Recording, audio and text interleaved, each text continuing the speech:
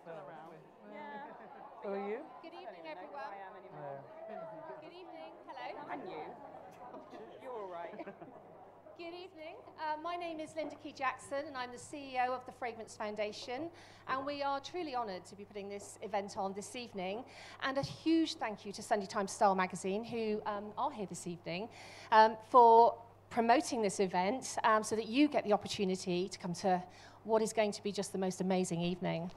Um, Fragrance Through the Decades is something that we have wanted to talk about for a long time. We all have scent memories, I think, and we go back to times where you smell something and it, it really brings back a memory of a time or a place or a person. So to have Roja Dove here with us this evening, who is one of the world's most respected perfumers, the creator of Roja Parfum, the most successful launch ever in Harrods with Roja's fragrances. He's globally renowned for working with only the finest ingredients in the world. The New York Times says he is a master, a tailor of scent. The Financial Times consider him a legendary figure in the world of scent and fragrance. And GQ have declared Roja is the greatest nose in the world. So, Rolls Royce, Champagne Laurent Perrier, the Victoria and Albert Museum, and Macallan are just some of the world's most prestigious brands that have called upon Roja's expertise and imitable style. Such collaborations confirm Roja's place at the forefront of artistic innovation globally.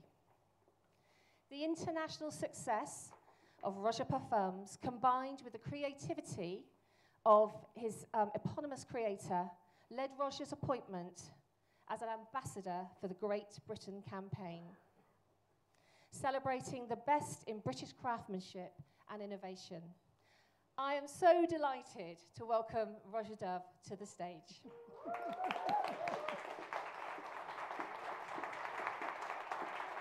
Thank you, Linda. Thank you. Thank you very much. Thank you. Thank you. I was wondering who she was talking about. so, after all that, my little line before we even start is a simple one. Please don't take me seriously because I don't. But let's see where we go with all of this. So, um, the Fragrance Foundation, I don't know what you know about it, but uh, it was started just after the Second World War. And its job, it's an, uh, a non-profit making educational trust. And so I think that it has an incredible role to play for people that want to learn about perfume, to understand perfume on every single level. So I'm very, very uh, pleased to be able to do this. And because I'm really rubbish at remembering some things, I would like to say an enormous thank you to Guillaume Marley from the uh, Café Royal, who's a nice friend, who has donated the room to us this evening to help support the um, us. So that's a nice thing. Anyhow, so uh, I hope you're going to like the presentation. Um, I want to try to tell you some anecdote to help you understand some of the stories behind some of the perfumes you might not know, to remind you maybe of scents that you had forgotten, but a breath of them will bring somebody you knew back by your side. And uh, hoping this all works out, uh, we prepared a lot of uh, scents for you to smell. Many of them are extraordinarily rare and come from my, I have an archive of old perfumes. Um, I use them for a lot of different reasons, but uh, some of them, maybe it's one of the few times in your lifetime you might get the chance to smell them. There are a couple of them in particular which are extraordinarily rare. So I hope that you like what you smell.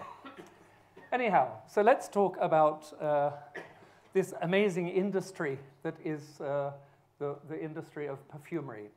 So in the very, very beginning, we have always uh, loved perfume. And right from the, really from the beginning, you can say that scent has always reflected the moment in which it was made. And so if you look at this uh, image, which is an old uh, Barbier image for Richard Hudnut, if that name means anything to you, who is a very important old uh, American uh, perfume brand, uh, scent itself, perfume, comes from the Latin through smoke, and so from uh, the word perfumum, and I think they're shown very nicely in this particular image. So we see right at the very beginning when Tutankhamun's tomb was opened up, uh, and we start to see things from ancient Egypt, a world we couldn't imagine. Here you see uh, perfumes from Ramses and so on. Uh, one of those bottles is um, from Saint Louis, and the other is from uh, Baccarat. And so everything about ancient Egypt, because it was the fashion.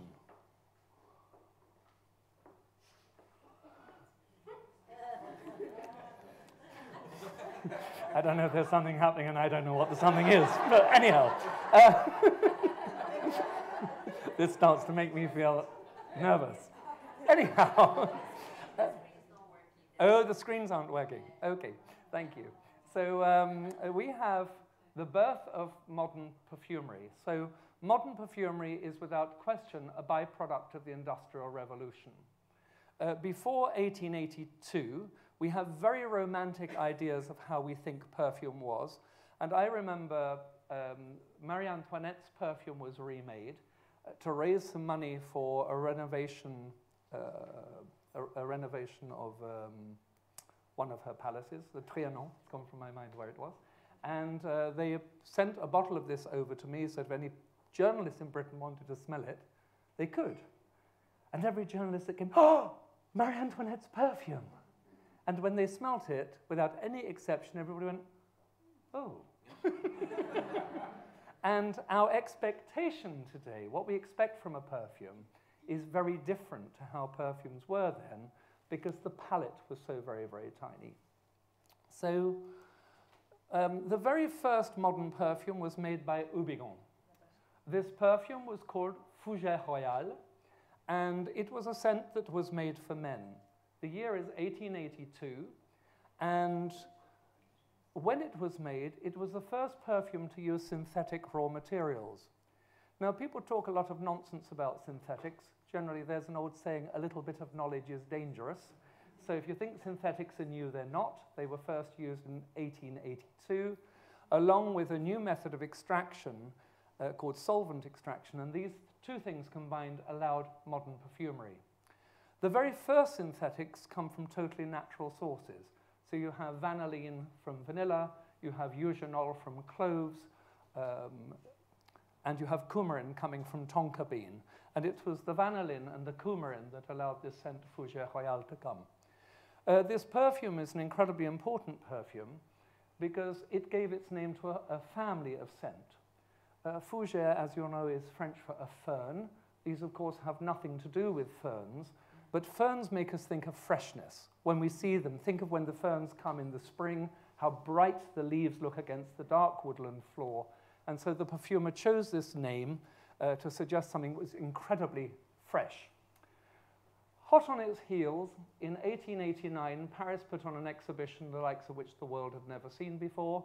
Uh, certainly in London, Paris, and New York, there were these international fairs to show prowess and the 1889 fair was the fair that Gustave Eiffel built his Eiffel Tower, which was meant to stand just for one year.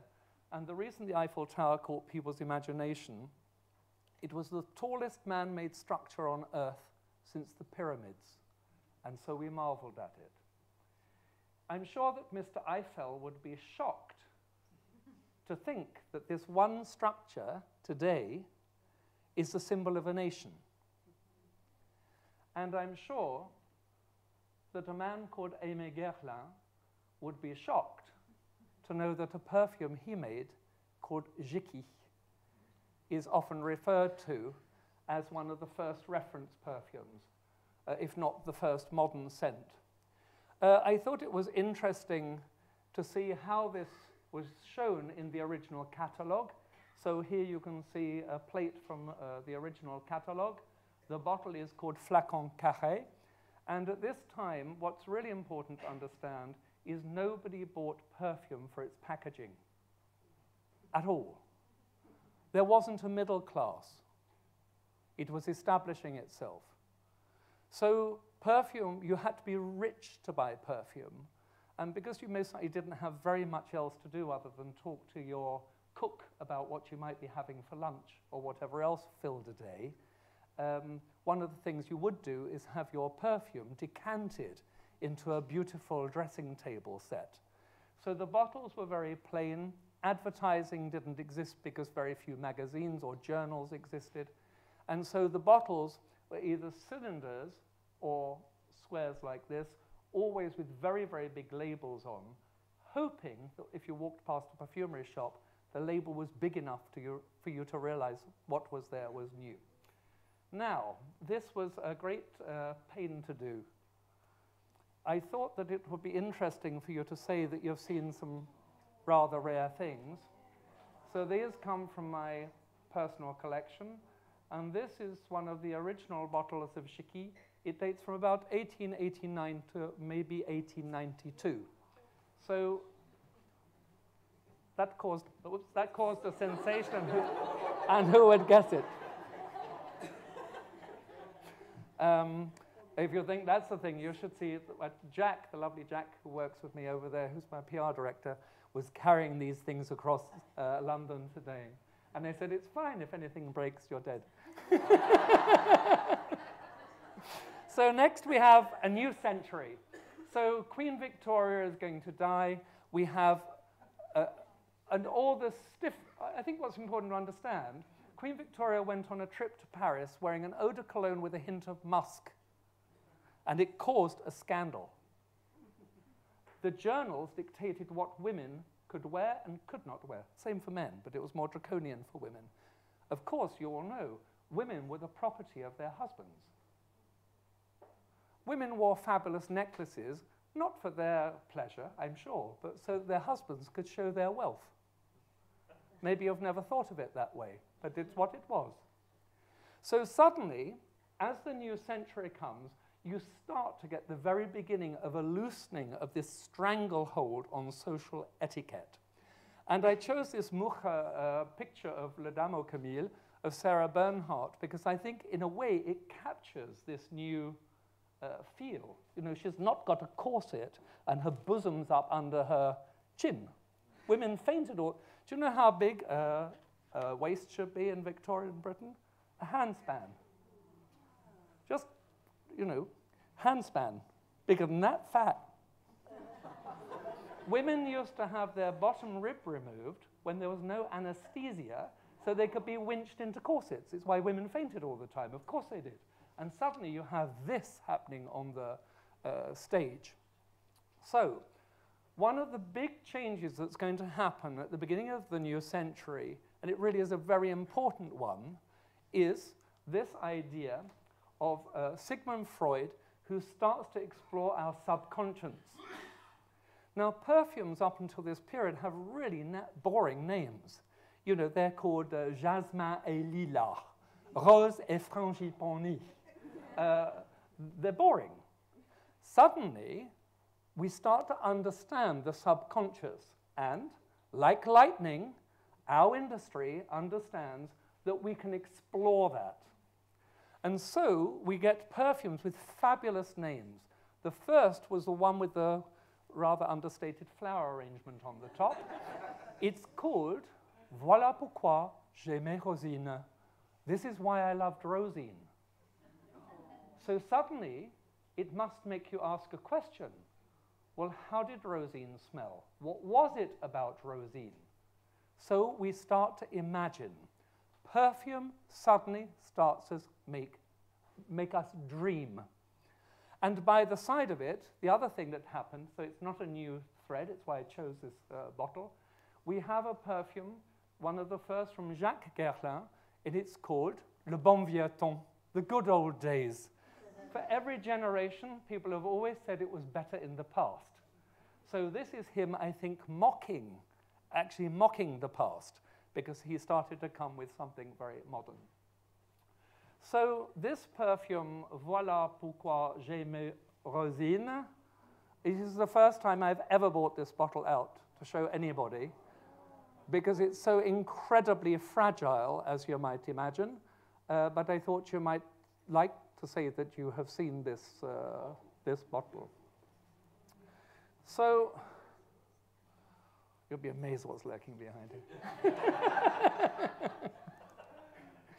Anyhow, uh, and then, uh, so we have um, uh, the Fougère Royale, which is made uh, men's perfume.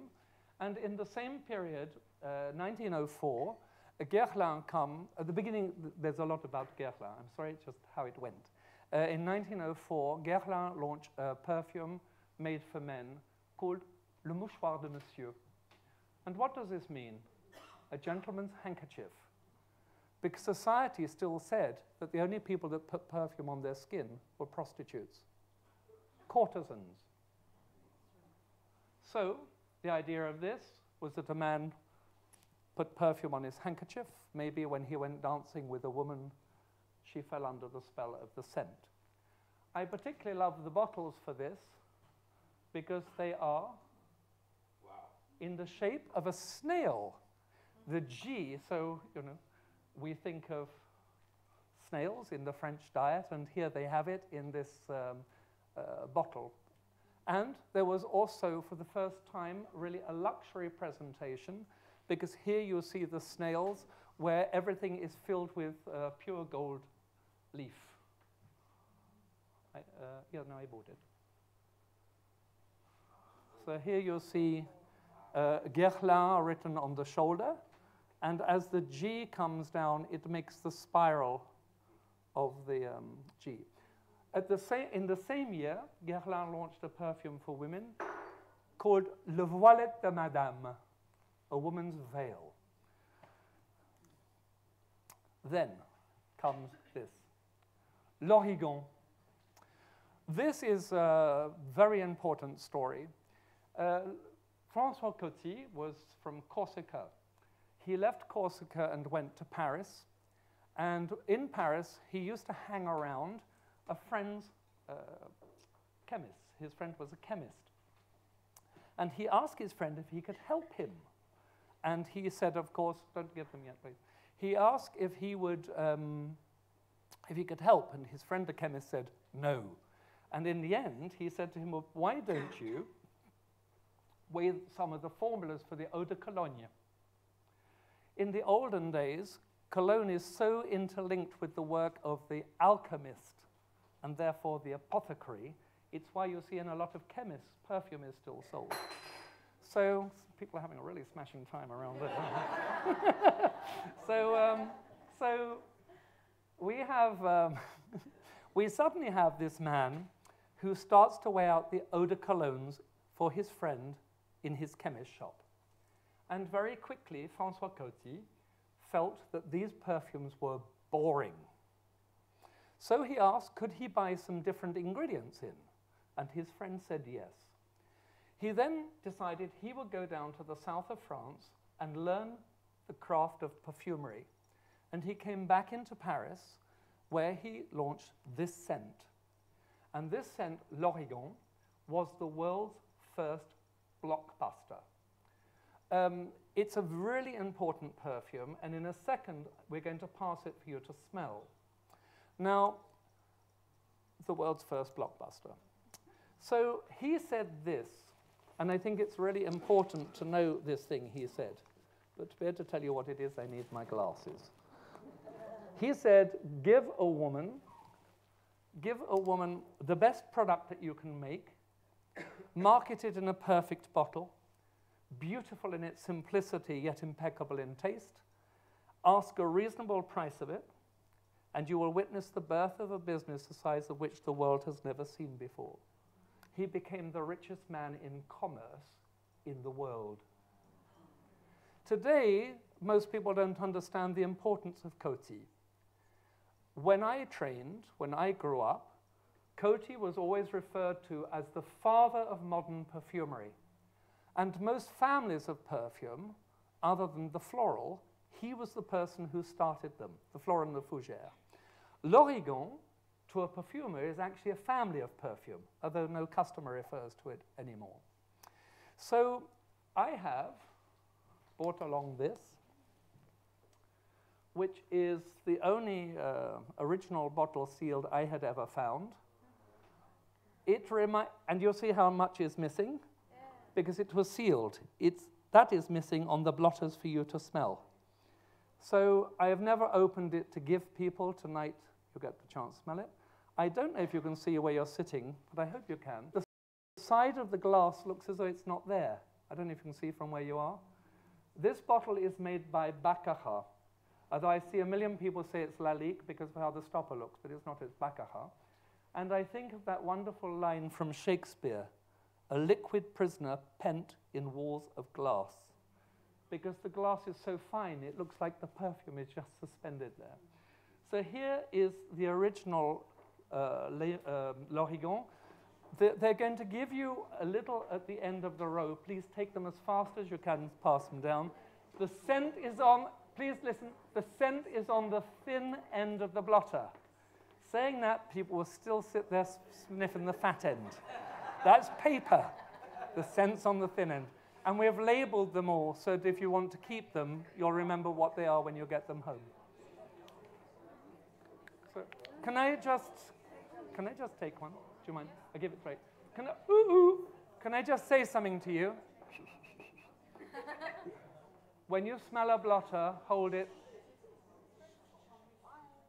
When you smell a blotter, hold it this way. If you hold it that way, you won't smell the scent well, and you'll risk jabbing your nose. Somebody at the moment I've just seen is smelling the fat end of the blotter. That is paper.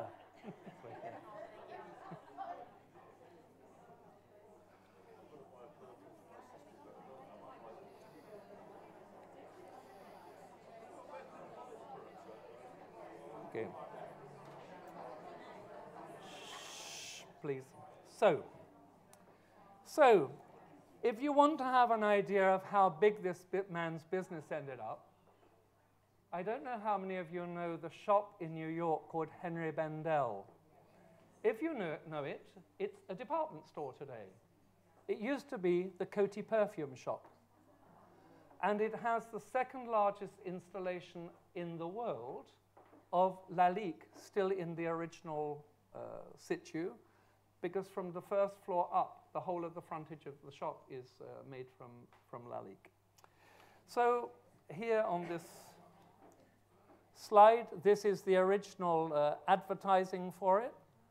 And there you'll see the little bottle that I, uh, I had. So you see what it looked like when it was full before you got your noses on it. And uh, so there we are, the world's first blockbuster.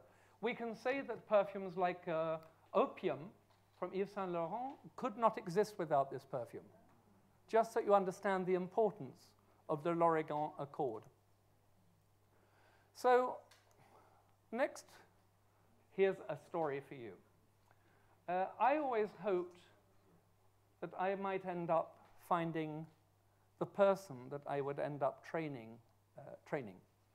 Um, that person I never met, and so I had a little decision to make a few years ago, which was I've been around a long time, and a lot of what I have in my mind, uh, you know, I have a lot of knowledge in my mind, and I have the great fortune over the years of working with a lot of people who are not alive anymore.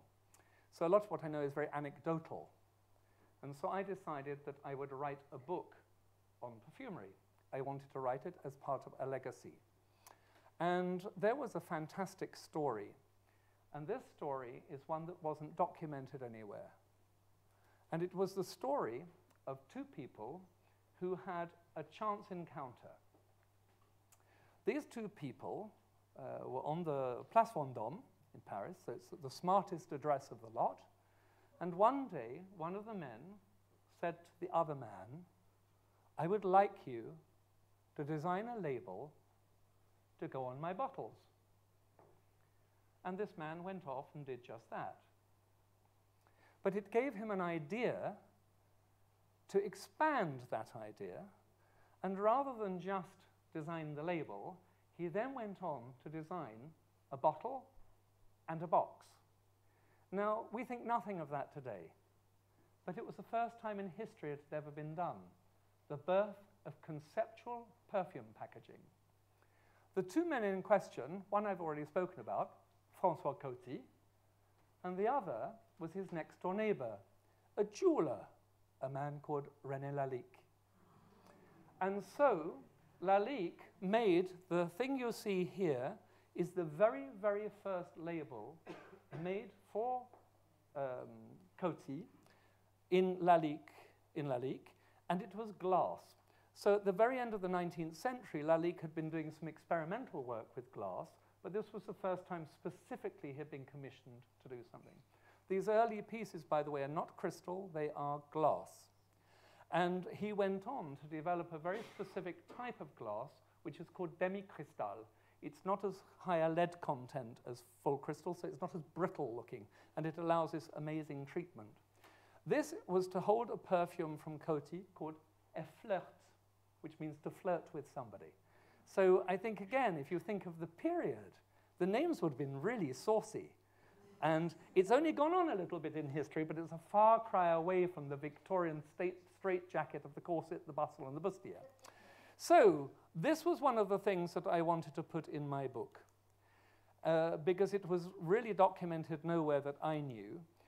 This was the very first label on the very first bottle for this perfume when all the smart houses used Baccarat, because Baccarat was considered the finest crystal in the world.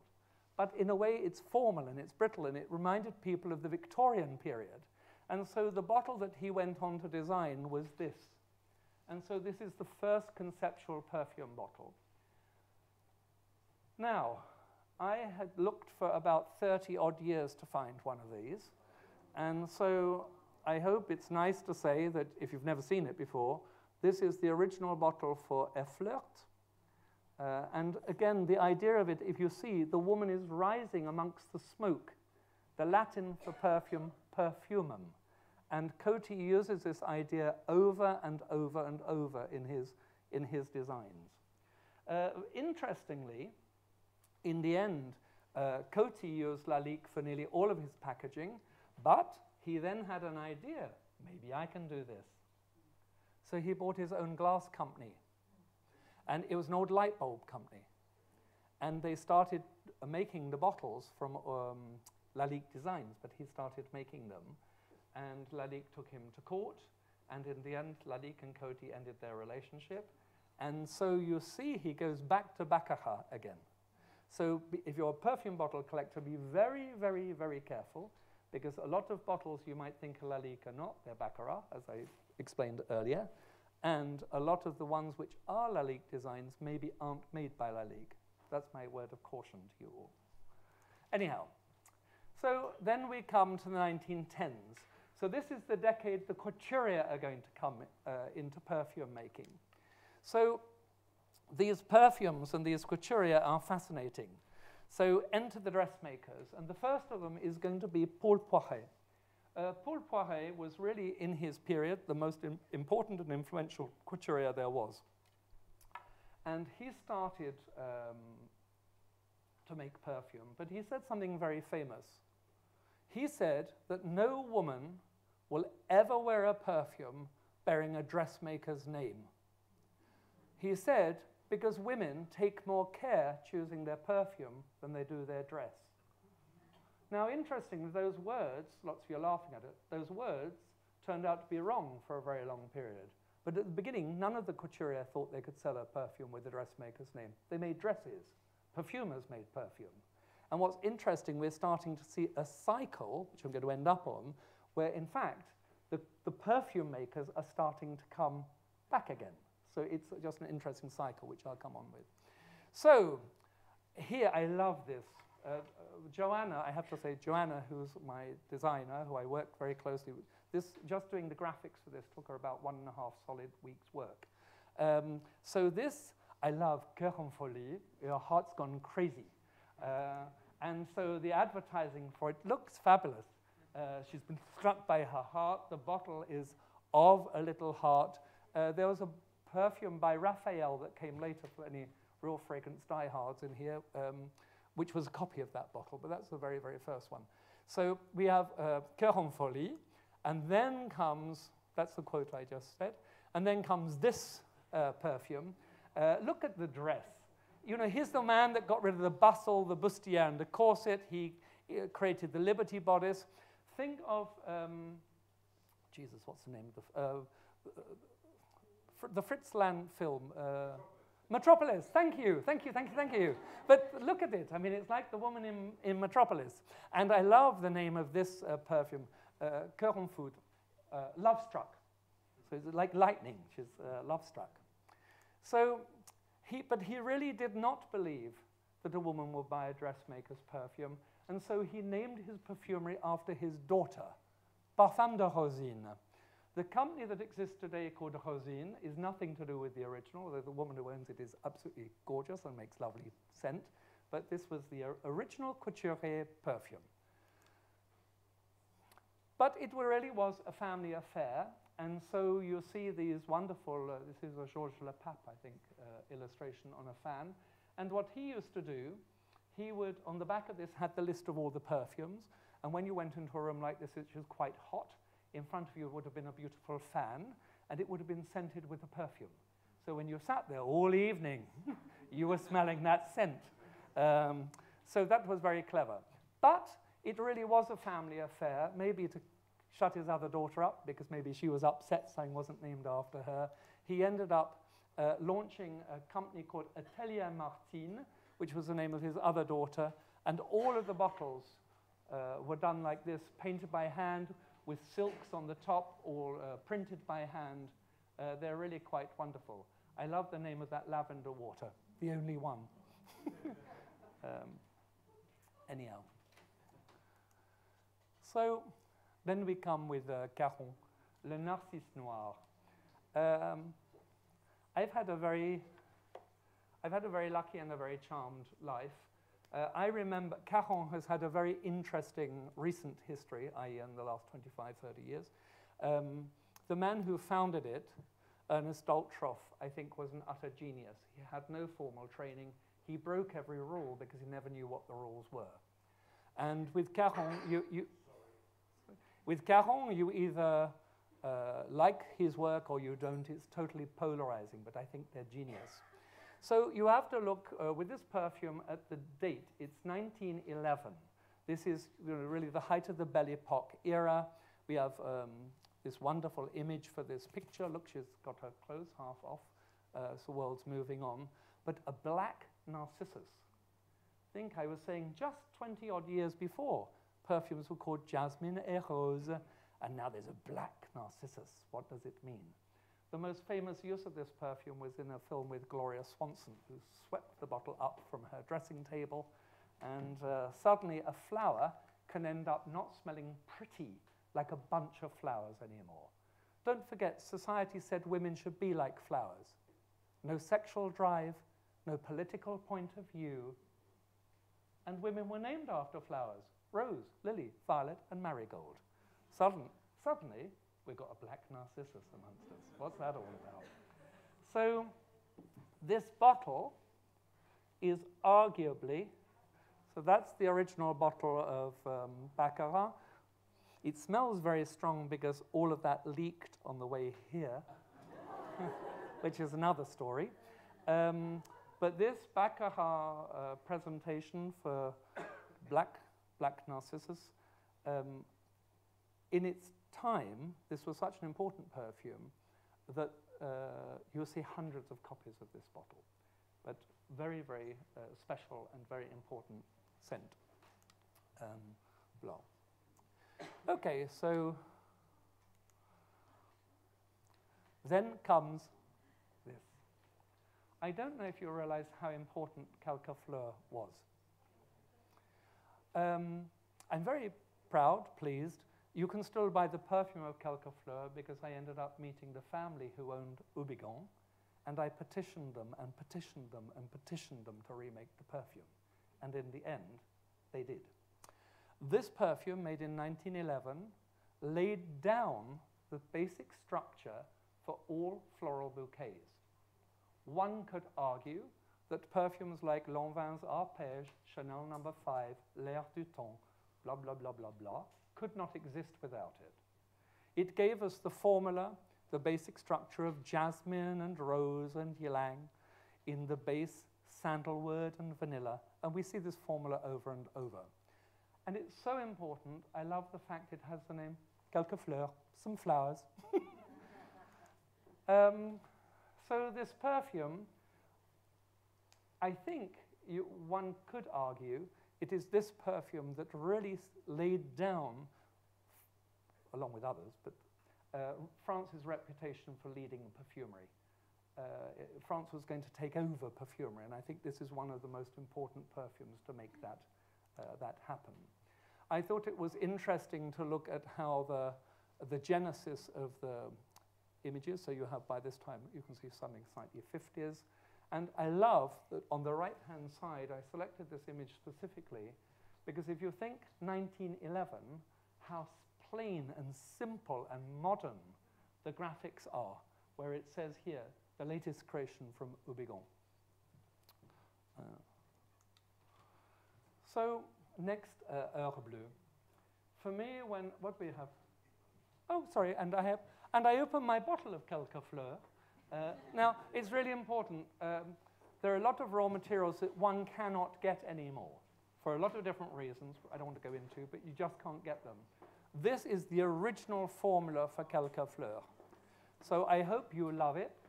I hope it's interesting because it has an enormous modernity to it in a way, and yet it's so old.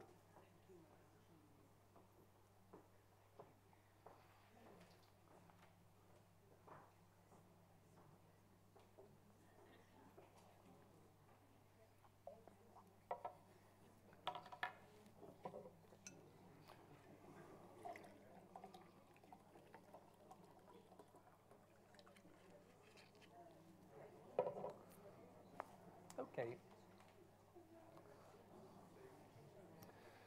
So, sorry, if you don't mind, whilst you're sniffing, if I can carry on talking because we will get thrown out at a particular stage of the evening. Um, so, L'Heure Bleue. Uh, as maybe many of you know in this room, that's the house I fell in love with when I was young, and it's where I trained. And the one scent for me, which is the scent of that house, is this one. I believe that I believe that Jacques Guerlain was maybe one of the most romantic of all perfumers ever to have lived. You'll see many of his perfume compositions come off formulas that were started or themes that were started by uh, Francois Coty, and he refined and polished them and made them his own.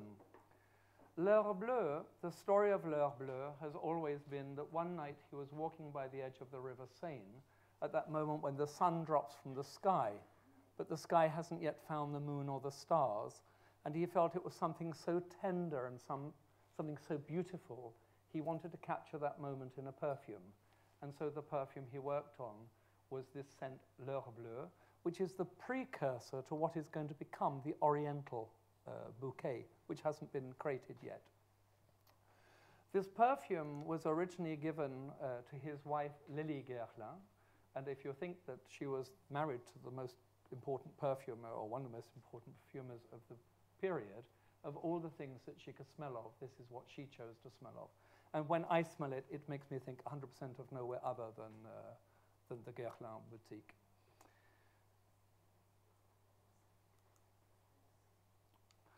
what did I put here? Uh, so he said this lovely line I felt something so intense I could only express it in a perfume. And I think it's one of the things that we often forget. I've always said a perfumer is like an artist, a poet, or a storyteller. But we don't use paint and we don't use words. We create something tangible from the intangible.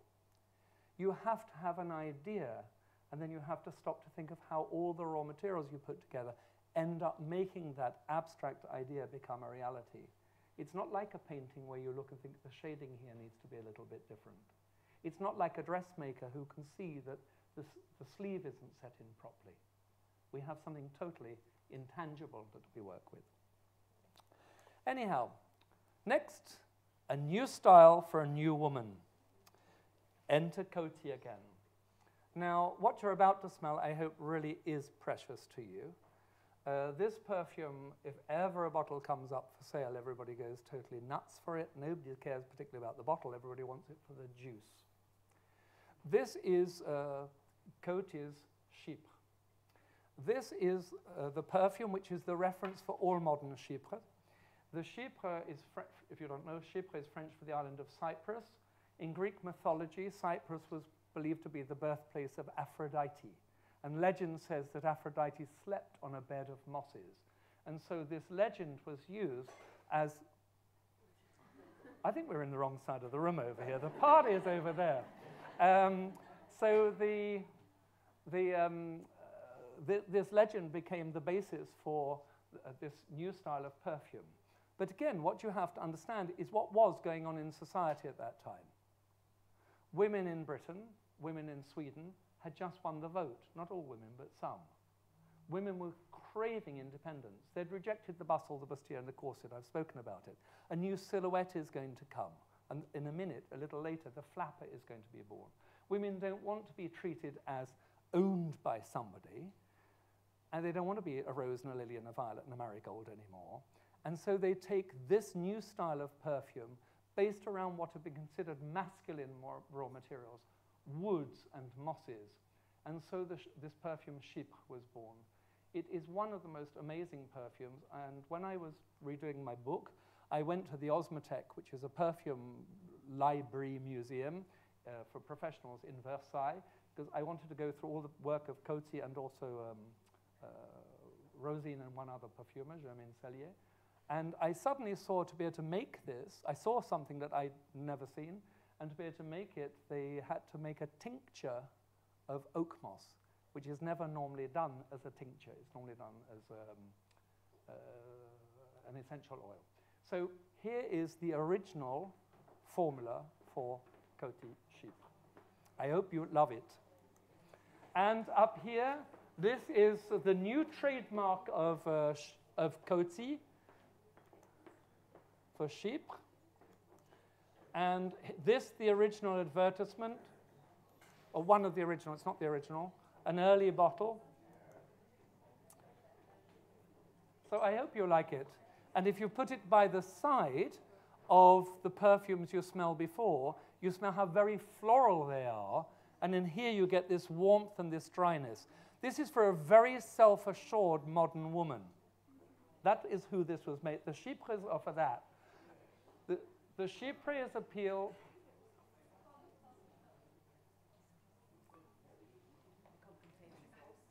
The Chypres appeal, still today, to women who don't have it will do in their vocabulary. They know black and white and grey is of no interest to them. Uh, and that's always how the Chypre has been. You love them or you, they're not for you. But this, a brand new style of perfume, the second family of feminine perfume is born. And uh, there you see it was also put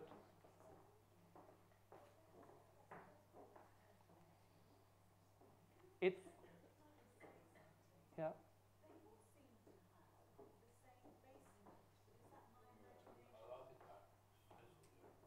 What, can we get into that conversation later? Talking about formulas is a big, a, a big story. I think the perfumes in this period had an extraordinary quality to them that you don't smell in so many perfumes today. They also have, uh, some of them, an animalic sex sexuality almost that absolutely you don't smell in most perfumes today. Because we live in a squeaky clean, sanitized world where, where your countertop most likely has more germs on it than your lavatory seat because we're told on the television. So, anyhow, so here we come, the final act of defiance. So, so women have fought for emancipation. The world is changing. There's a middle class. And suddenly, the last act that women are going to do in this period is captured by Ernest Daltroff, the perfumer of Coty. He comes with an idea that he wants to make a perfume for men. But he has met a woman called Phyllis Wanpouille, who he lived with for years, totally unmarried, which would have been scandalous, openly, uh, which would have been scandalous. She designed all the, the bottles and the packaging, and she said to him, No, this should be a woman's perfume. And this perfume was called Tabac Blonde. Now, at the time, men generally smoked cigars or they smoked Turkish cigarettes, which have a very, very strong odor if you know it. So, this Virginia tobacco was considered very light, very pale, and to a feet almost for a man. So, these Virginia cigarettes started to be taken by women, and the final act of defiance, women did not want to be seduced anymore. And when a man tried to do it, they took their cigarette in their cigarette holder and blew smoke straight in his face. And so this is the original um, bottle for Tabac Blonde. Uh, on the front, you see the design of the Nicotiana, the uh, night scented uh, tobacco flower, which I'm sure you know. If you look up on the screen, because they'll fleck up uh, quite quickly, this an original advert. You see a cigarette by the side. Could you imagine advertising a woman's perfume today like that? But this said modern. She's a modern. She's, she's a modern girl. And here by the side, um, this is a lipstick ad. But this perfume, when it was first launched, this perfume, when it was first launched, was used to actually perfume the cigarette. So people put drops of perfume on the cigarette, and the other perfume that was used that way was by Molinard, the next decade, a perfume called Habanita. And both of them were made originally to scent perfumes, uh, cigarettes.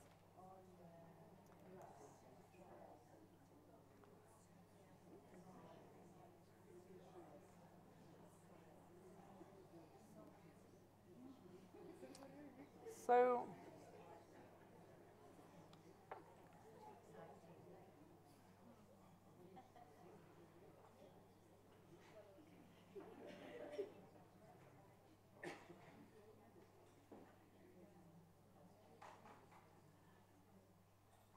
So, when the Chypre was launched, what's important to understand is the world had never smelled a scent like it before.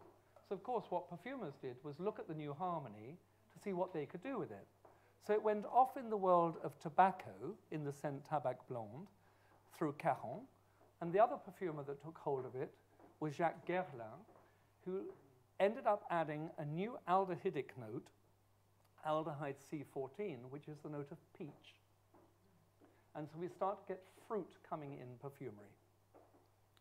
The reason that I headed this slide up, A Secret Love Affair, the story of this perfume is quite a lovely one for Are You Her Type? Um, because there was a very important novel. I think it's interesting looking at how society sees itself. So this advert actually comes from 1930s. It was done by a French female illustrator called Darcy. And I don't know if many women maybe would relate to it today, but in the 30s, that's how a woman might want to see herself. So I think this idea of how we change our perception of ourselves through advertising and perfumes is actually quite an interesting one. So there was a very, very famous novel written by Claude Farrère called La Bataille. And in La Bataille, we hear the story of a woman called Mitsuko, who is married to an admiral in the Japanese Navy, but she falls in love with a Western naval officer. And she knows that she has to keep this love affair totally and utterly secret. Just something inside her heart. And it's why, when you look at the bottle for Mitsuko, you see, if you can imagine that bottle turned upside down, there is the hidden heart. It holds the secret that inspired the perfume uh, below. This perfume was always referred to by the Guerlain family as the pride of Guerlain. Of all the perfumes they made, why were they so proud of this? Because most perfumers believe it to be one of the most perfectly balanced perfume formulas ever written. And then here we see coming another image from the 50s, the idea of a cherub watering a tree and the flower that comes on it are bottles of Mitsuko. Then the 20s, and we have decadence and darkness. These are the two themes of this uh, decade. So, in the 1920s comes something very unusual uh, from Chanel a gift with purchase. the reason I put it is simple. Chanel, who was no shrinking violet, did not believe that anyone would buy her perfume. So she gave her perfume as a gift to her clients. So, what is the story of this perfume? Have I missed something out? No. Um, so, the story of this perfume is an interesting one. Uh, it, like a million things, is shrouded in legend, and who knows what the origin is. But uh, the, the important thing of this perfume is that she met a man called Ernest Beaux. Ernest Beaux was the last perfumer of the Imperial Russian court. He made perfume for the Tsar and he made perfume for the Tsarina. And it is believed that the root of number five comes off of a perfume that was made for the last Tsarina of Russia. In it, he had been working around a set of raw materials called aldehydes. Now, a lot of people say this is the first time aldehydes were used in perfumery, which is wrong. Quelques Fleurs was the first perfume most likely to use aldehyde. But it was the first to use them in overdose. And there are a hundred legends around this perfume. Which one is a blame one, which is that his assistant misread the formula and made a mistake. and the other story is that she gave him so little time to make the perfume that in one of them he had overdosed the aldehyde, but he hoped from the others that she was given that she would find one she loved. So the man who made the perfume, the legend says, was nervous of his creation. Anyhow, she was given the bottles and she smelt them. And on them, on one of them, aldehydes in overdose. She stopped. She never smelt the rest, so legend says. She said, This is my perfume. It was one he was nervous of. And everybody said, What will you call it? And she said, It will bear the name it bears now, for it will bring it luck. On the bottles were little numbers 1, 2, 3, 4, 5, 20, 21, 22, 23, and 24. And that was the fifth one. She was a wildly superstitious woman. Five had always been her lucky number she was showing, she wanted the perfume for the 5th of May, the 5th of the 5th. That was the day that she was showing her collection. So she believed that destiny brought this perfume to her. And so here, what I want you to smell, I would like you, before you smell this, to just listen to this. When you smell it, I'd like you to try to think of it in a different way to the way you maybe do. I'd like you to think of going over a bump in a road when you're just about to drink a fizzy drink and it goes in the back of your nose. If you can do that, you will smell what she thought as modern and he was frightened of. Because that's what the aldehydes do. They make the flowers sparkle like a firework. So here is a number five. Now, would you mind awfully, and I know that all you're doing is talking about what you're sniffing, but could I ask with this one if you wouldn't mind not talking but silently sniffing, because I hope that what's just about to come up is worth not talking about just for a second. I thought that it might be interesting for you to, you all know this, to see the genesis of this bottle. So you can see that the bottle started off looking like this. So in 1921, here's the first bottle, which by 1930, the lid has changed. You know that if you look down on the lid, the shape of the lid is an aerial view of the Place Vendôme. Then we suddenly see that the stopper thickens slightly in the 50s, and then in the 70s, the, the stopper changes again uh, to a much, much thicker design, and then the bottle is reinterpreted again for the eau de parfum. But what I hope, which is why I ask if you wouldn't mind not to talk, which thank you very much not for, because I thought that you might like to say you've seen this. It's the only one that's known. Might be others, but it's the only one that's known. Um, I gave a lecture many, many years ago for the Comité Français de Parfum for um, an exhibition, most important exhibition in perfumery called L'Hymne Parfum. In Britain it was called A Heavenly Scent. And the inaugural lecture I did with a gorgeous man called Guy Robert, he was the perfumer that gave us Calèche and Madame Rochas and Equipage. He was Most gorgeous, gorgeous, gorgeous perfumer. And he was the vice president. And he was standing on the stage in the museum. And I started to talk. And I felt this man pulling toward me. And I thought, what am I doing wrong? so I've got everybody staring at me as you're doing, which is quite a thing when you're standing up here and everybody's looking. And, um, and I'm just thinking, what am I, what, what's wrong?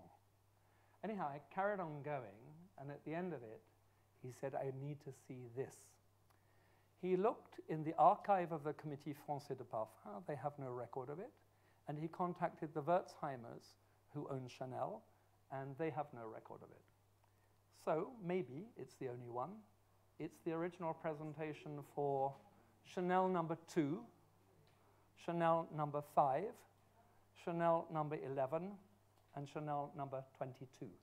So I hope that it's nice to say that you have uh, seen it.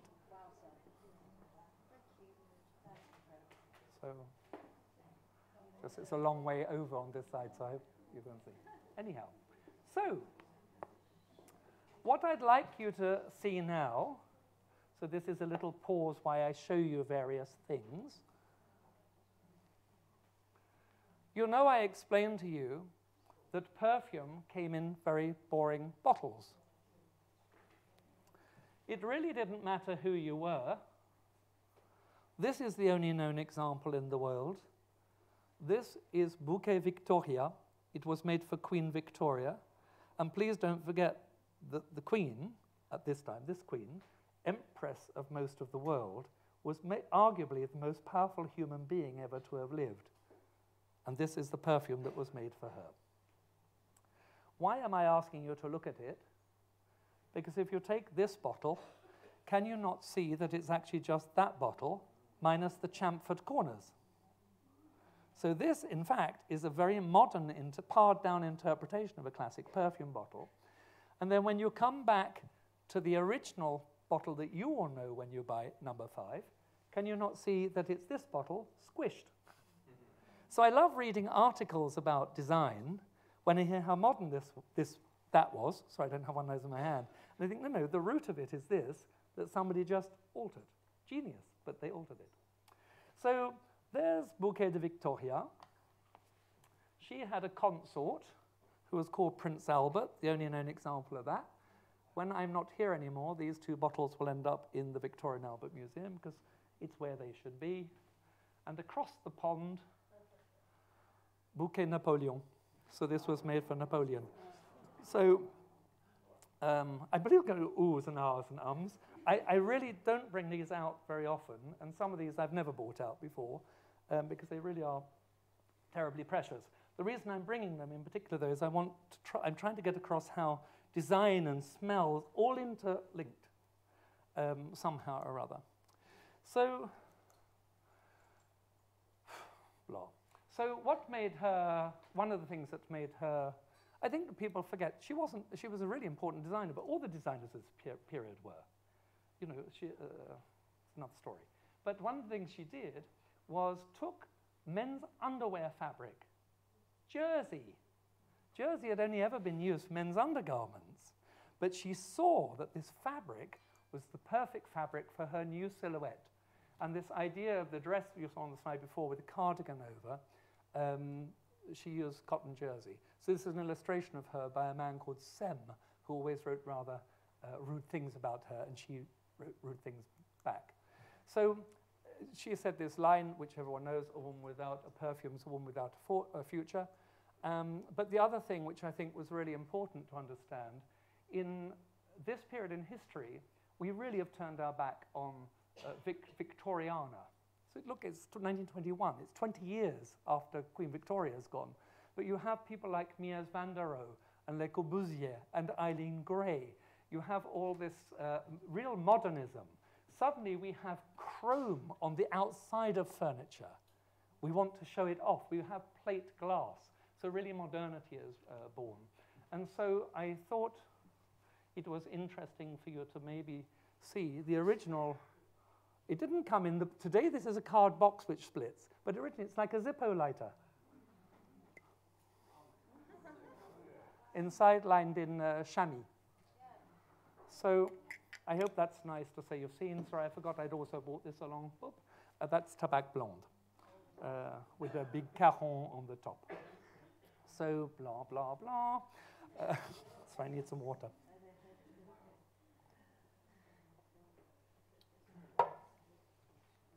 So, could some of you smell this in your nose? So, today we don't smell perfume because we smell brands. I'm wearing Dior, I'm wearing Guerlain, I'm wearing Chanel. When somebody says that to me, I always say, You must be very strong to wear an entire company. uh, so, I think it's nice, hopefully, that we smell this really what made this what it is. So, today when we work on aldehydes, we of course smell Number five, it's the best example of it. But it's the best example because of the sparkling aldehyde in the top. Next, look how we've moved on. Uh, this woman, on whatever she's on, but terribly happy. uh, so the flapper is now born, and along with it comes an influence from America, nightclubs. And it's very hard for us to imagine the impact of a nightclub.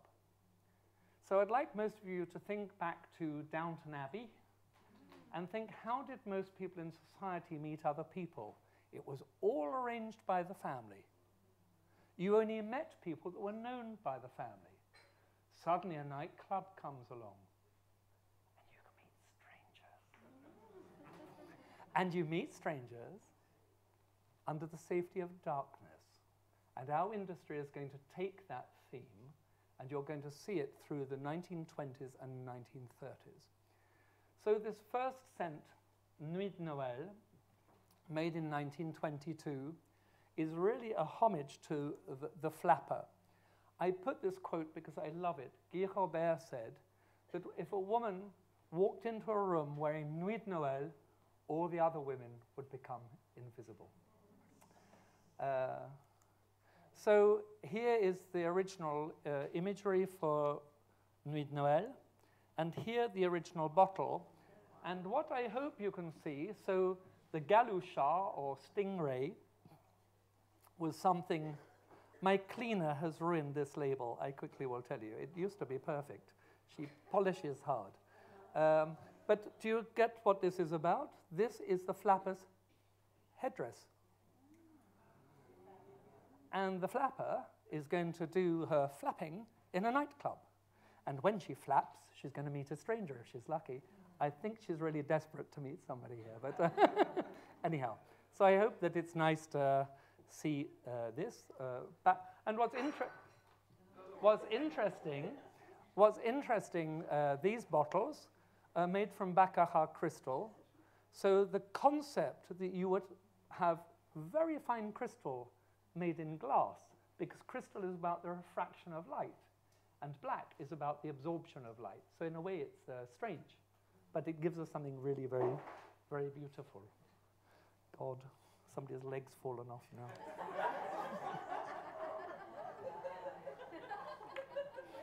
so next, so the next, so the next, um, the next scent I explained that I think that Jacques Guerlain was maybe the most romantic perfumer who has ever lived. And I'd like you to really imagine this story.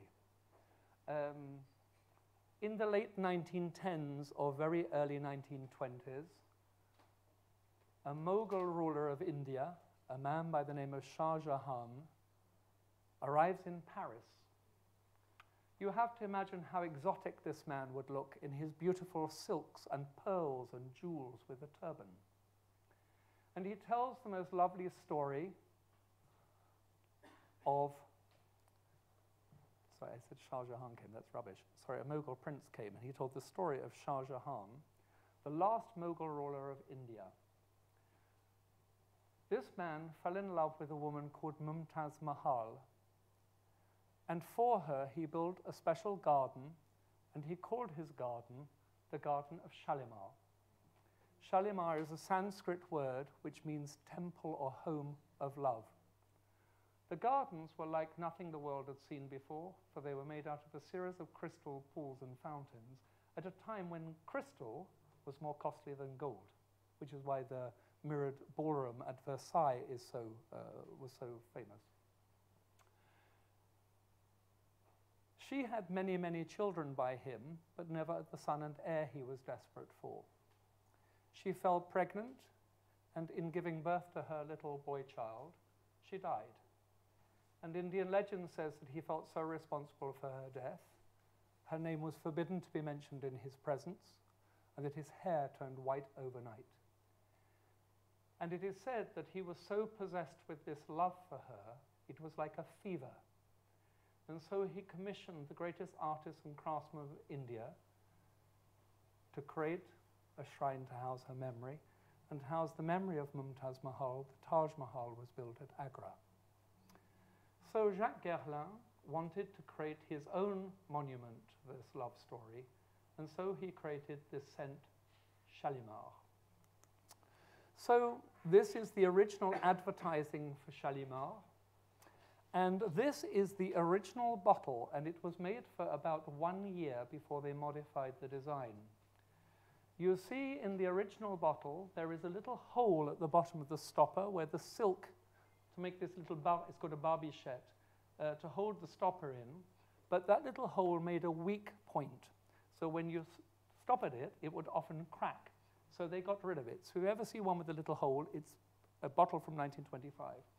And if you look, you can't see it well in this photograph, but if you look at it uh, on the very first ones, the glass had an incredible violet inclusion on the blue.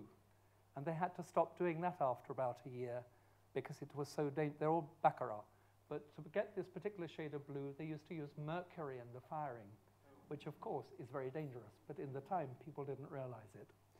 So this bottle, I thought you might like to say you have seen the original one. That's the bottle you'll see in this picture. And what I hope is a nice thing to hear in my industry, in a perfumery somewhere near you, are these love stories. For this bottle, the blue symbolizes the night sky under which they made love, the neck and the shoulder of Mumtaz Mahal, the drape of one of her cloaks spilling down her back, and it stands on, a, uh, on one of the crystal pools from the garden.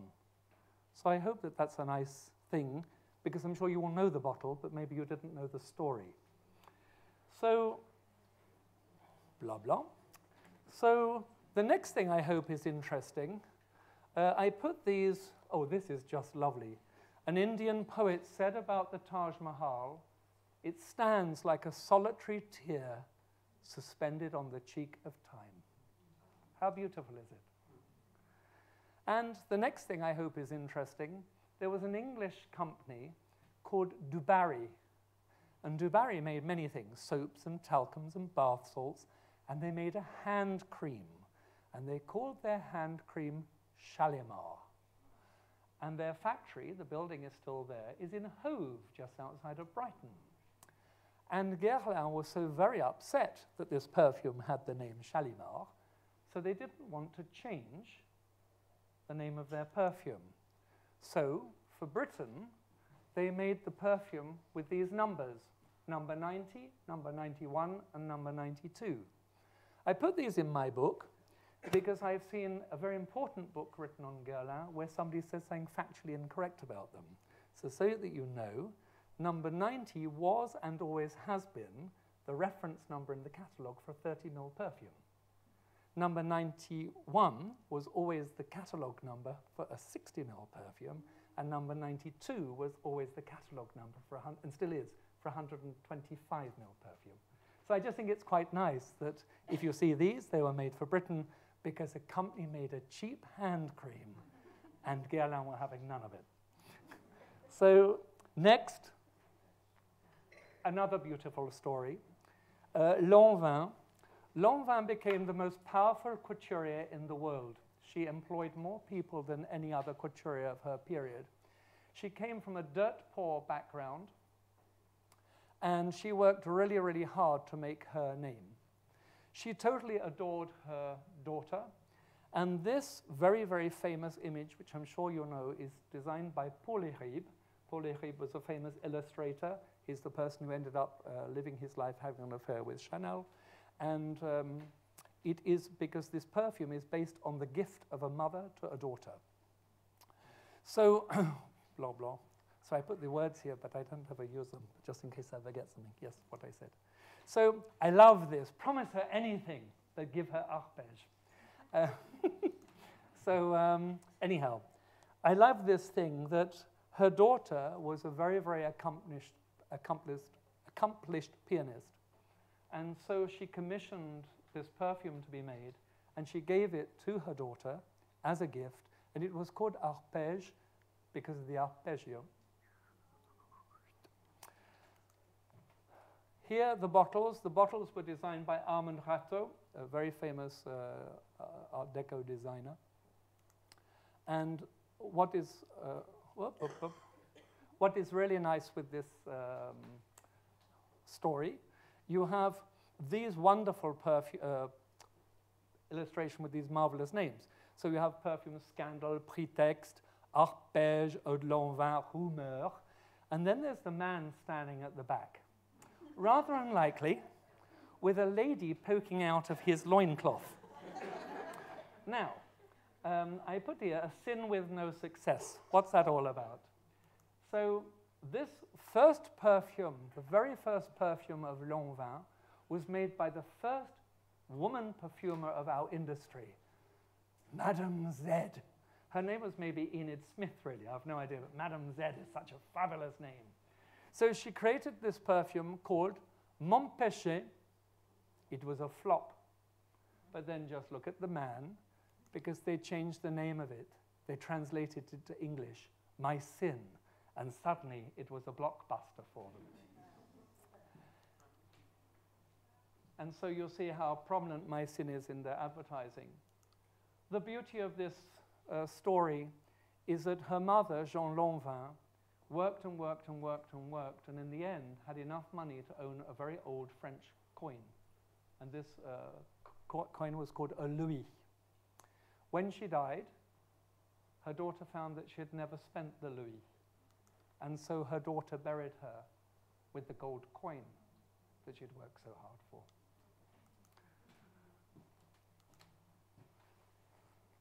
So I have to be very aware of time. I think I'm going too slow. I have to start talking very fast. So you're not allowed to talk. We need to hitch our britches up and off we go.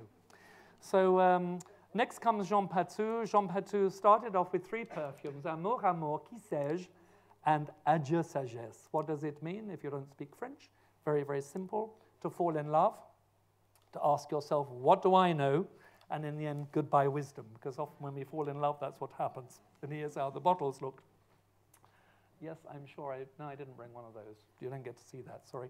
Uh, so in 1921, he absolutely shocked the world. He invented uh, the sporty clothes. He sent the tennis player Suzanne Lenglen out onto Wimbledon wearing a cardigan and a headband and so on. And so the sportive look was born. And interestingly, he launched a perfume called Le Sien, which was the first unisex perfume. So it was actually sold, first one. Other people say other things. This was the first. And if you look, it's for the sportive woman, but also it's a parfum masculin. So it's saying that a little masculine man. The other thing he did, he was the first person to make suntan oil, and so hi- this oil was called Hui Hui Chaldée.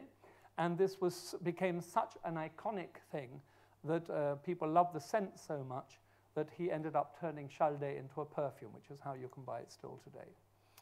Um, in 1929, he commissioned his perfumer, to Henri Almeras, to make a new scent for him, and uh, he, he liked none of them. And in the end, Almeras said to him, I have one left, but it's so expensive you'll never be able to sell it. Patou said to him, Nonsense, double the juice.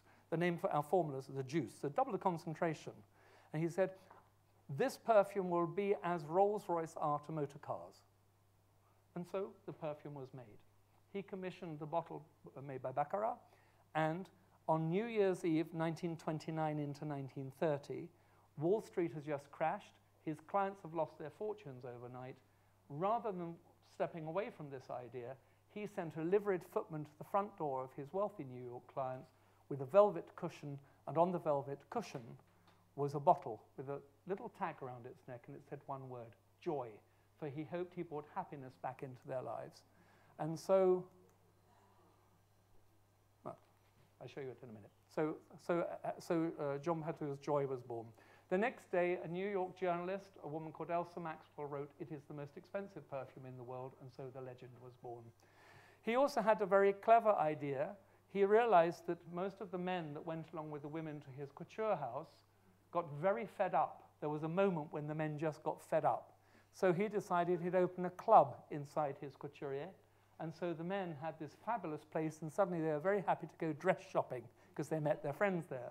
He then expanded that idea and came up with something very novel, uh, an idea called cocktail. And so he created a small perfume bar.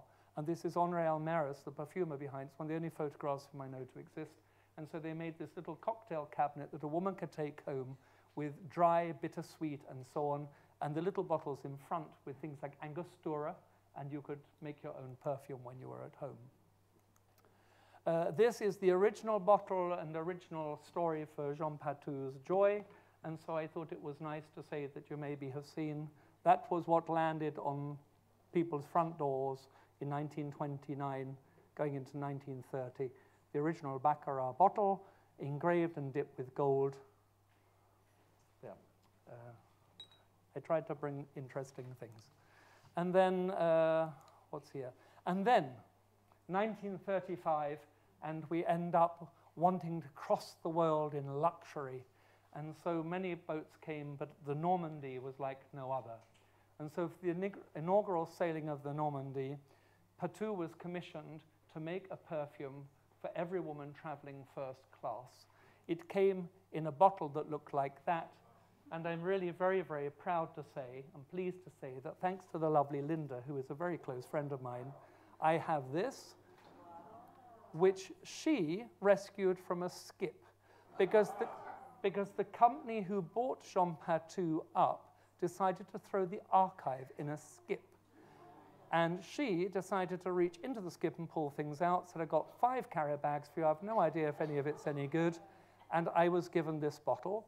And what's really special about it, it's numbered, and it's bottle number one. So Patou obviously thought it was important enough to keep, but there we are. So rattling on, because I'm now on overtime. I mean, we shouldn't be here.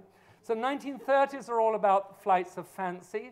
So this whole idea of travel is all the thing. And so one of the first, look at this beautiful image of a night sky. And we have a lovely, lovely love story. So we have the story of Worth. And the story of Worth is really very special. If I knew where my glasses are, it would be even better. Um, with this, the first perfume from a love story and it's called Dans la Nuit, in the night. This bottle is made, this bottle is made out uh, Lalique crystal, and where the stars are is not colored, so you see the liquid behind. And as the light comes, it looks like the stars twinkling on the night sky. So uh, Charles Worth was the world's first couturier, an Englishman. He started couture for the Empress Eugenie, and his perfume spelt out this beautiful love letter. Dans la nuit, vers le jour, sans adieu, je reviens vers toi.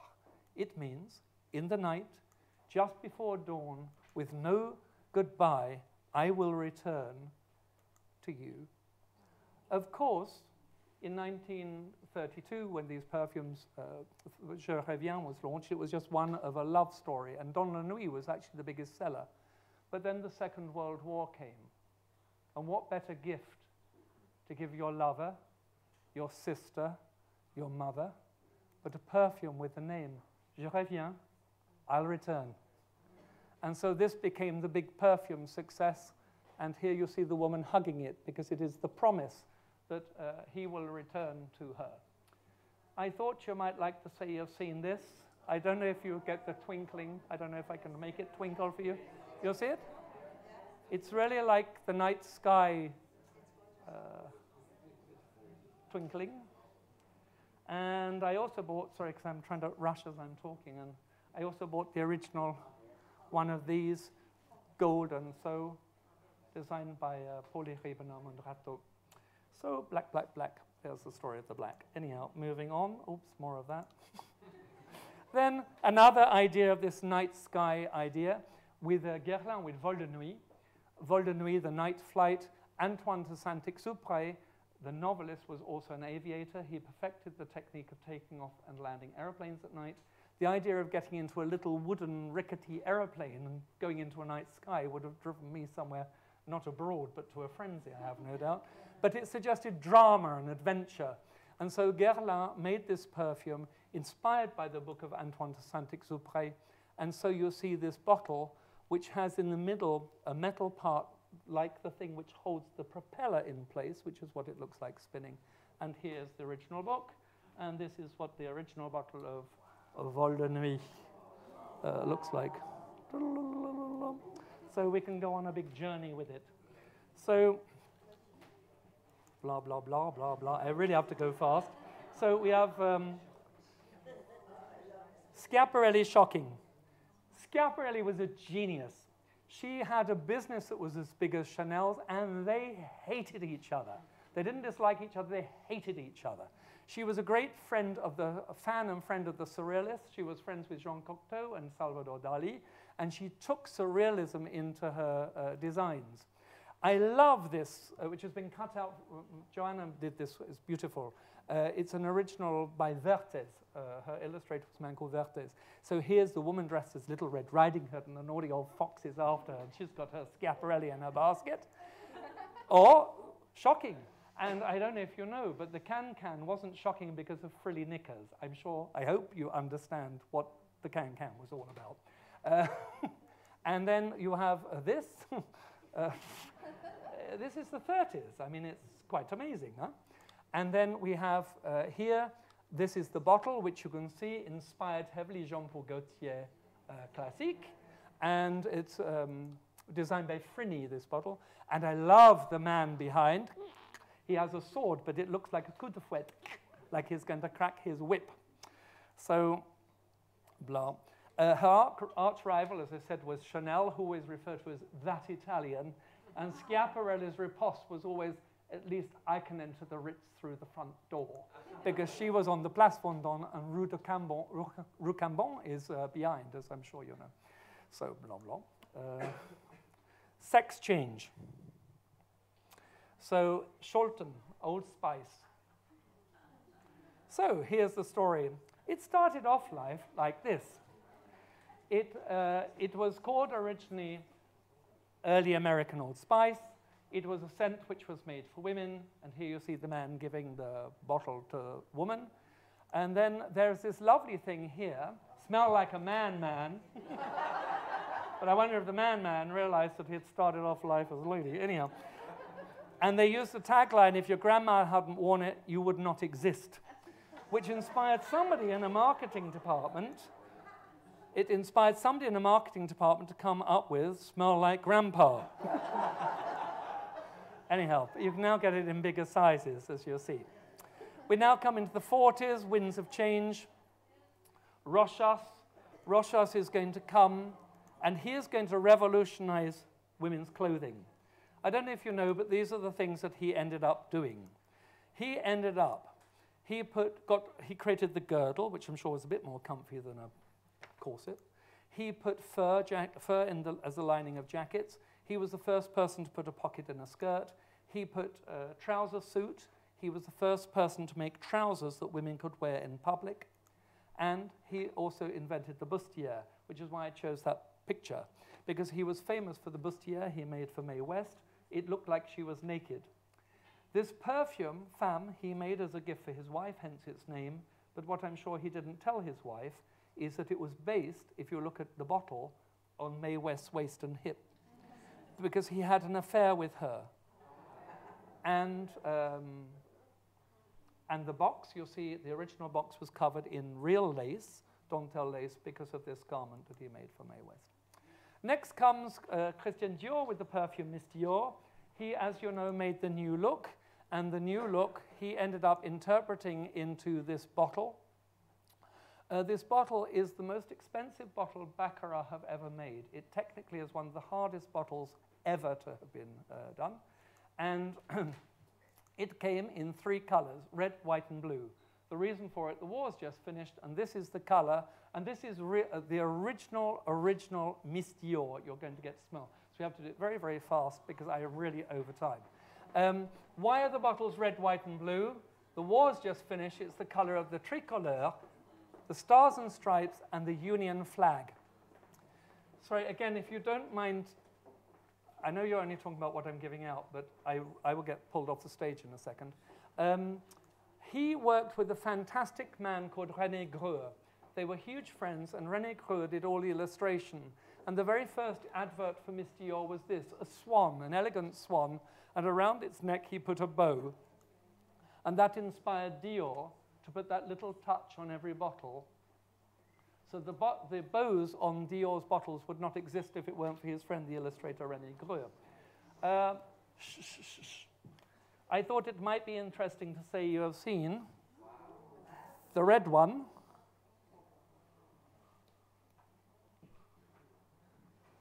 the white one, and the one I love most, the blue. They really are extraordinarily special. Right, bum, bum, bum, bum, bum, bum, click, click, click.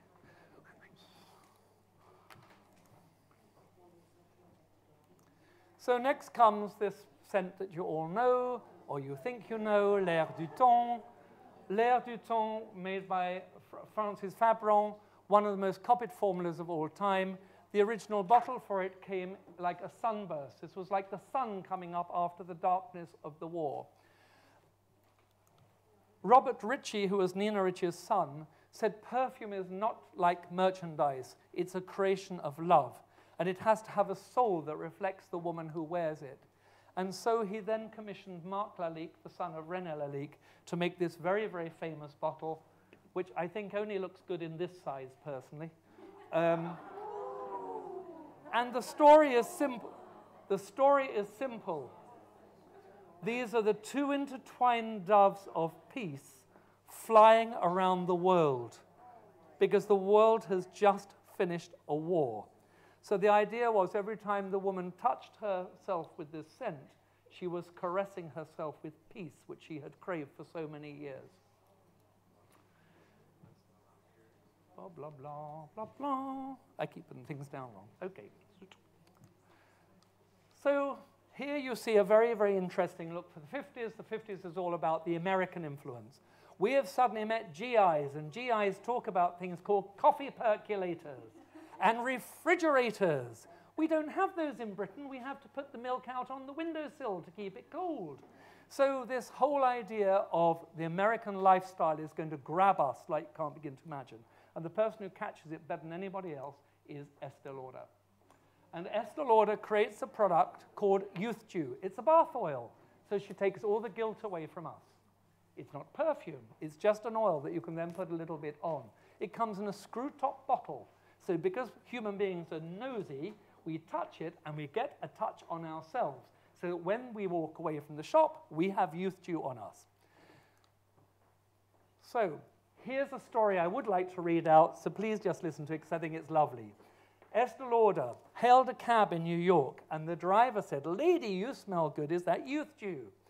How would you know that? said Lauder. He said, Last week, a lady opened a bottle and put it on. It was so nice, I said I wouldn't charge her the fare if she gave me the bottle for my wife, which she did. You smell so good, I hate to see you leave, but I've got to charge you. Of course, Lauder said, so paid him and gave him a very big tip. She said, By the way, I'm Estee Lauder. He said, By the way, I'm Cary Grant, and drove away. so, and there is Lauder in the top uh, working. So, a lucky charm. So, we're- really hurtling toward the end of this talk. So, a lucky charm.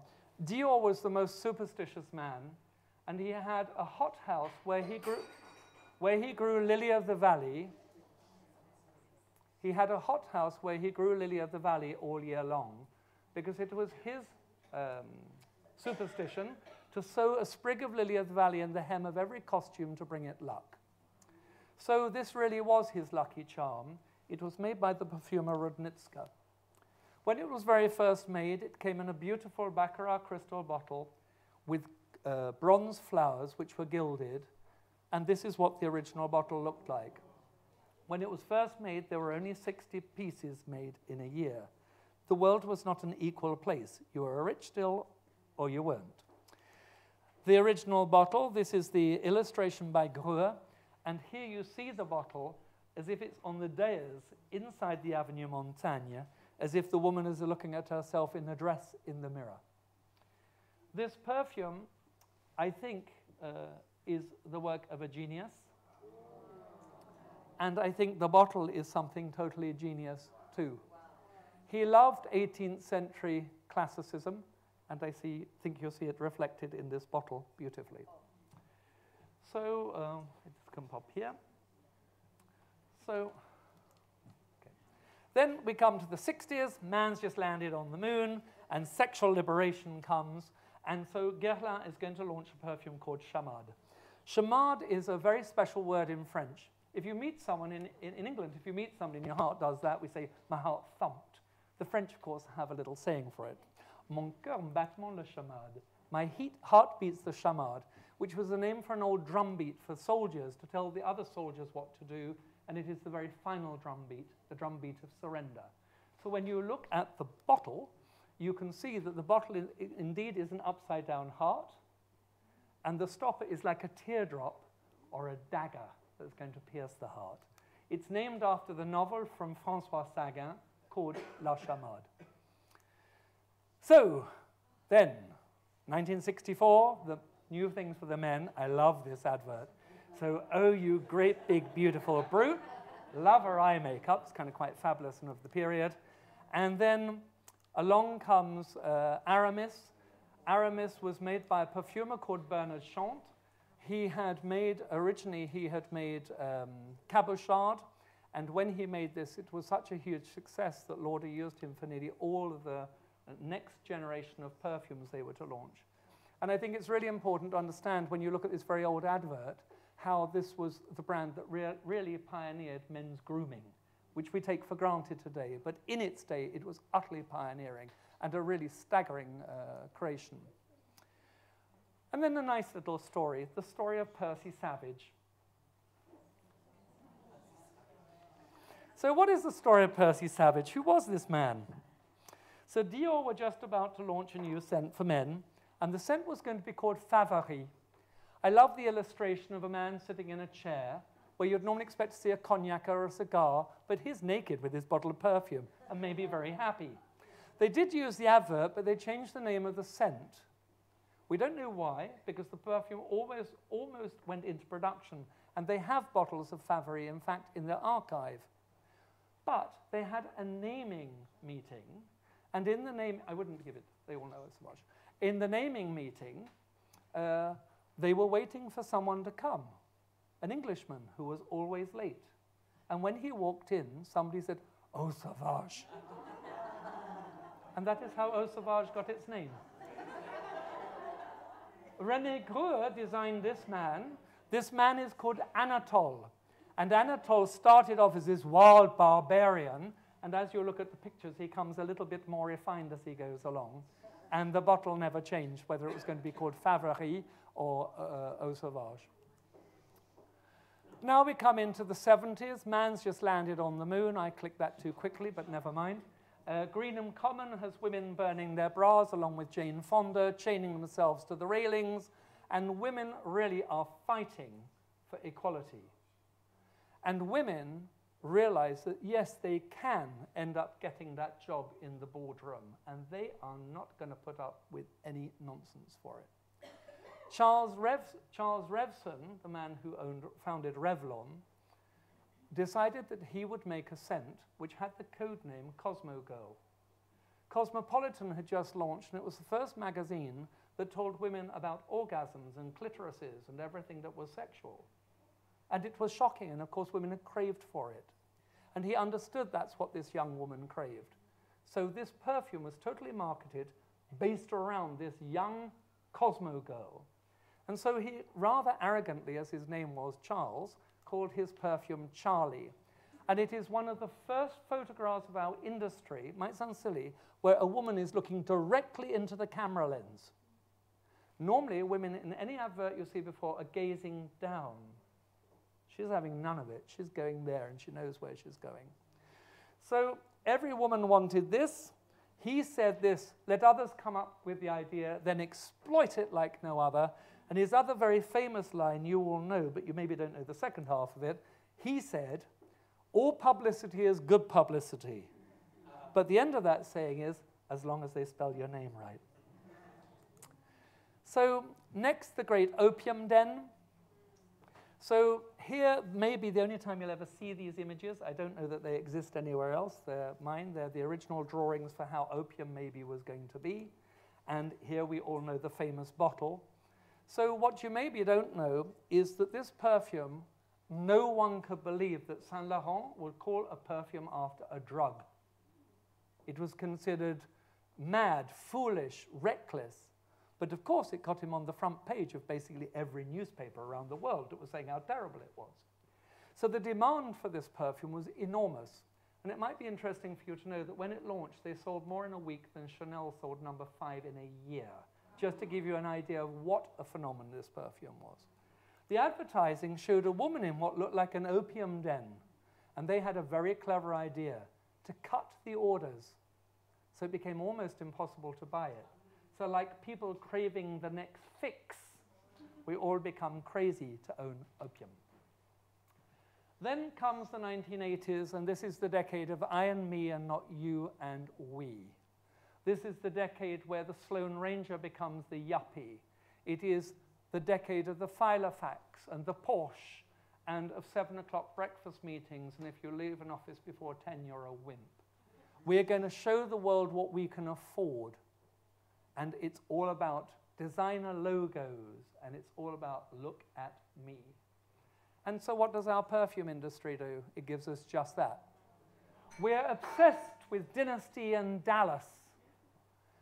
And we want to smell like Rodeo Drive. And so, a perfume is made that is so enormous that it becomes the first perfume to be banned from restaurants all around the world. Because when a woman walked in with it, it was all you could smell. So this perfume was all about consumerism, and we loved it. And I remember this perfume when it launched. It launched exclusively in Harvey Nichols, and there was a, a queue down Sloane Street every day for it. The French were having none of it because the Americans had stolen what they thought was theirs. And so the company that answered it was Dior with Poison. I remember when Poison launched, people went in, there were always two lines with Poison. The people that didn't realize it was an English word asked for a bottle of poisson. and the other were the people that went in thinking they were so original, I'll take some poison for my mother in law. and I heard that line more times than I care to tell you. So I put here poison inside and out, and the reason I wrote it is I don't know if you realize how clever this bottle is. When people were illiterate, in medieval times onward, poison bottles always had ribs on the outside. So that when you touched it, you know what was inside was poison. The bottle itself is an apple, the poison apple, the fruit of. So I hope that that's sort of loosely interesting. And then I just put in this very, very special presentation, which was a limited edition. Okay, so we've all ended up spending so much money that we've spent more than we really own. We buy properties that are so overinflated, the world has just gone into a recession, and we're going to hear a brand new phrase negative equity. And people committed suicide because of it. People despaired because of it. It was ugly. And along with that ugliness came something else, an illness we knew nothing about HIV, AIDS. All of this happened in cities, the consumerism, touching somebody, and who knows what could happen. So, this decade is the decade where you'll see a kaleidoscope of colors we have a red ribbon for AIDS and we have the pink ribbon for breast cancer, and so the colors come for whatever cause you're supporting. We know we don't like the world, it's ugly, so all we want to do is get away. And the company that's going to help us do it more, better than anybody else is Calvin Klein. So, first you become obsessed, then you pledge eternity. and maybe in the end, all you want to do is to escape. I hope that someone had the wit in their uh, marketing to have put them in that order because it's how they were launched, because I think it's quite lovely. Where did we want to escape to? We wanted to escape to the seaside because the seaside is carefree times and holidays. And again, we see a reference to something from the past because this, I'm sure, makes you think of rather a famous film from here to eternity. So, if we don't want to escape to the sea, where else might we want to escape to? The fun fair. We want to escape to our childhood, and we want to smell of candy floss and toffee apples. And this perfume, I say about it, it's an angel that almost never saw the light of day. For this perfume failed in every piece of test marketing. And yet, one woman, a woman called Vera Strübi, who was the CEO of Thierry Mugler Perfumes, pushed and pushed and pushed and so this perfume launched on the market, and it totally changed the Oriental Accord and became one of the biggest selling perfumes uh, of its time. So we come toward the end of the story. We've almost caught up with where we are now. So we've wanted to escape to the fun fair, and we've wanted to escape to the sea. So we don't want perfumes that are sexual anymore. Maybe that common thread in the base that was referred to before.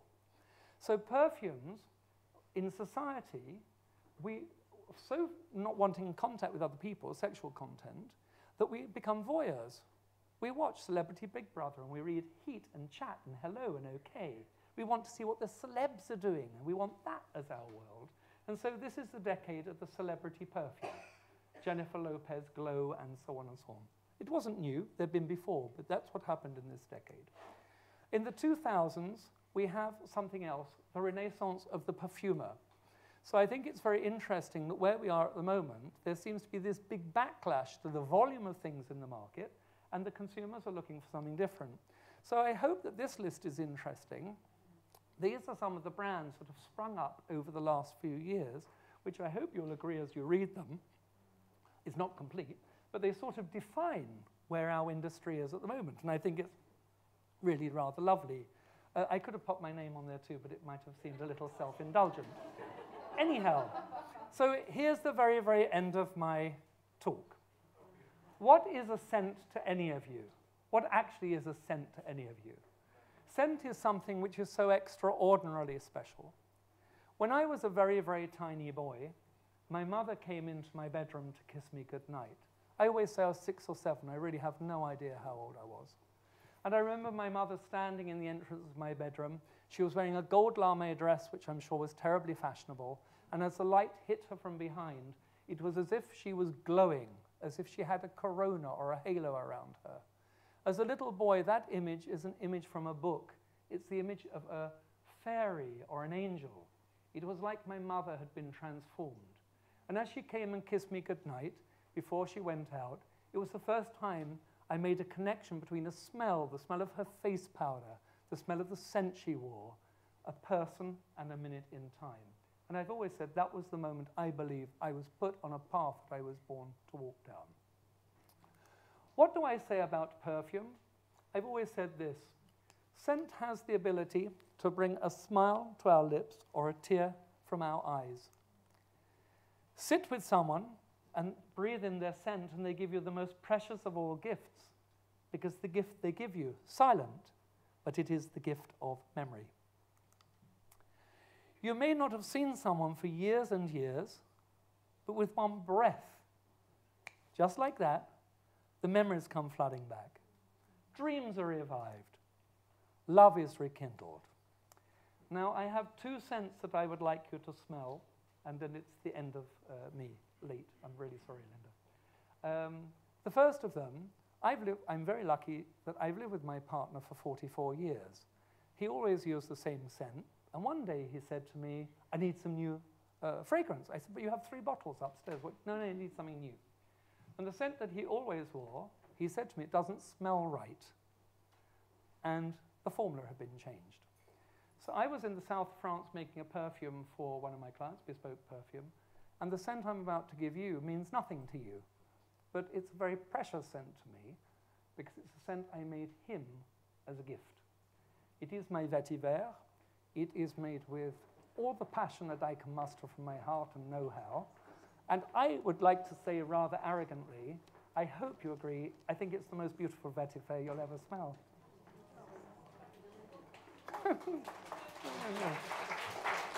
um, so this for me is how I think a man should smell.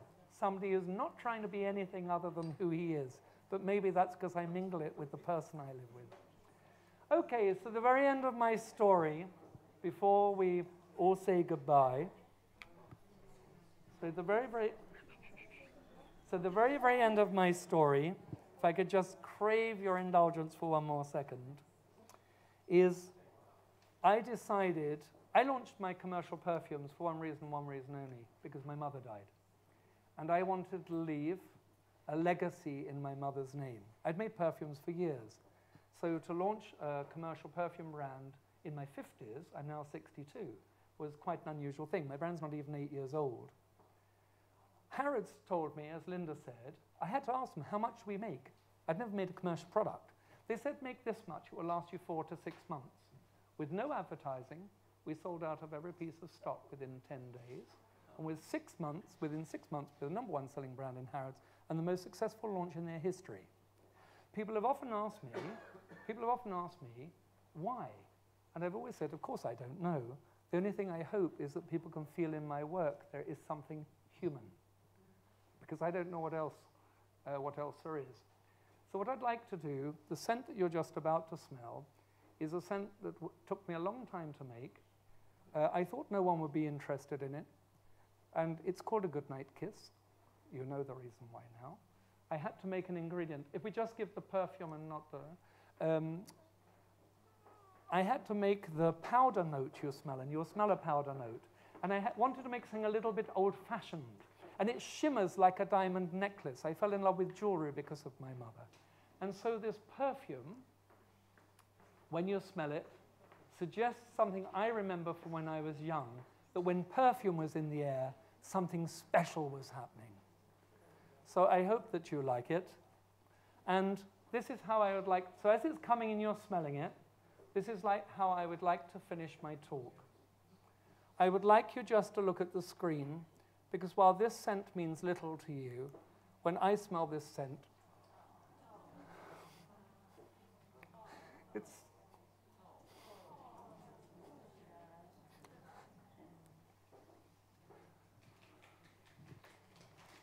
so, sorry, when I smell this scent, this scent reminds me of my mother and growing up. And so one of the things we do in the Fragrance Foundation, which has caught everybody's imagination, but if you don't know we do it, I'd ask you to look. This week is National Fragrance Week, and we do something I think is very beautiful, which is something called scent memories. All of you have a memory to do with scent. And please share them, because they're beautiful things. So I have nothing else to say. I would like to thank uh, you, and I'm really sorry I overrun, um, but I hope that you liked it. Uh, thank you. Thank you, thank you. Thank you very much. Um, and I'd like to thank all the people that have done so much work in the background sitting and printing those labels out and sticking them all out. I mean, that's a job and a half. So, uh, but really thank, thank you all. Thank you for coming and thank Linda and her team for everything they do uh, for Fragrance Foundation. So thank you. Thank you. Sorry, Brian, so much. Um, I don't really know what to say, but I hope, and I know it for you, I hope was the most incredible evening. We're so honoured to have Roja do this for us. We've been friends for 20 years. And I was her giver away at her wedding. He I've did. never done that before. he did. You did. and um, it's a very special relationship. And It is. Roja, there is no one else like you within our industry. Thank you and so thank much. you very much. Thank you. Thank you. Thank you very much. Thank you. Thank you very much.